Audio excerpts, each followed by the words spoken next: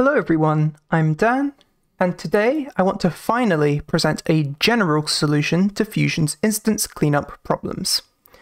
For those of you who haven't been keeping up, let's do a quick rundown of the core issue. This computed here generates an instance from a name variable. Every time the name variable changes, a new instance is produced. That instance becomes the new value of the computed. So, all good so far. Except, not really. You see, when the computed changes value to the new instance, the old instance becomes unused. In this example, that would mean we have to destroy it, because if you don't destroy the instances that you make, then you'll end up with memory leaks. So just destroy instances that are returned from computeds, right? Not so fast. You see, this other computed also returns instances. However, it doesn't create them. Instead, it's simply returning existing instances from a model. If we were to destroy these, then it would be incorrect. So Fusion needs to be more intelligent about when to destroy instances. It should only destroy the instances that it's responsible for. But how can Fusion tell the difference? As far as Fusion is concerned, both of these computed objects just return instances. There's no information about who is responsible for those instances. So, how has Fusion addressed this in the past? Well, in Fusion 0.1, we just didn't. Instead of doing anything about it, we just said, remember to destroy your instances when you're done with them. And if you didn't do that, too bad. You're now leaking memory and you don't even know it. Of course, that's no way to solve a problem, so starting with Fusion version 0.2, we started looking into making instances garbage collect more nicely. The theory was that by making instances behave more like regular values, we could keep the cleanliness of Fusion intact while still providing useful cleanup behavior. Unfortunately, this led to some issues in multiple corner cases that were impossible to solve. So later in development, we pivoted to so-called destructor functions. You'd provide a second function to deal with any necessary cleanup, and it'd be called when Fusion needed to dispose of a previously generated value. And we even provided a couple out of the box for extra conciseness. So do nothing is just an alias for function end, and cleanup calls the cleanup function, same one as the cleanup special key. But unfortunately, this is not a universal fix.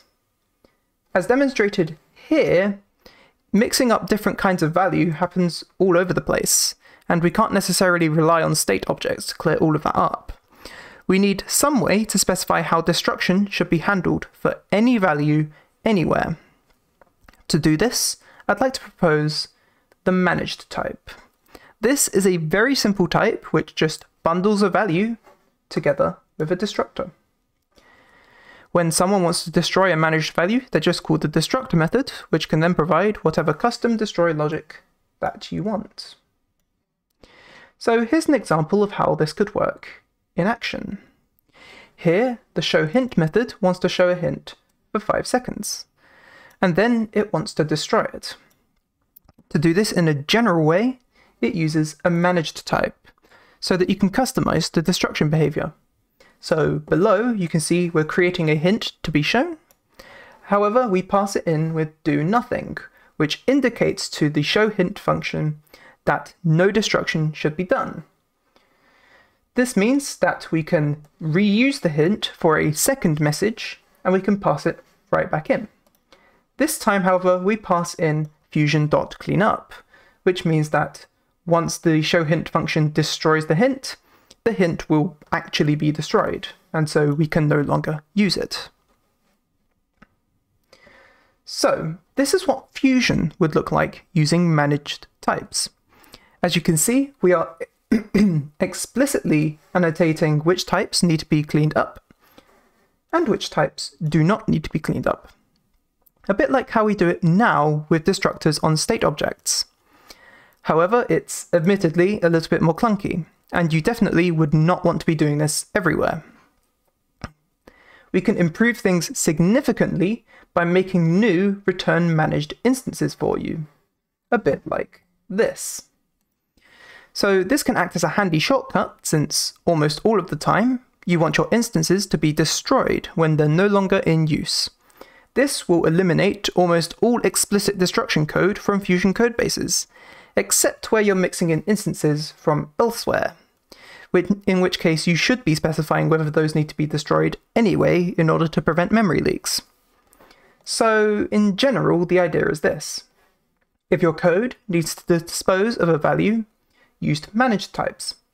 It forces your users to consider how disposal should work, and it will lead to fully correct, fully explicit programs. Now, with all of that being said, this is far from a finished idea, nor do we intend to ship this in any version of Fusion at the moment. It's entirely experimental frolicking, and there's still lots of improvements to be made and lots of questions to be asked. For example, we'd need to make sure that new users could understand this easily, and we'd also need to make sure that it doesn't actually act as a net negative for the Fusion community. After all, we are introducing more complexity here, and so we don't want to make your code bases overcomplicated. Anyway, that's about all from me. You can visit me at elttob.uk. You can follow me on Twitter at elttob underscore, and you can find me on Discord at elttob number one. Anyway, that's all from me. I've been Dan, and I will see you guys very, very soon. Have fun.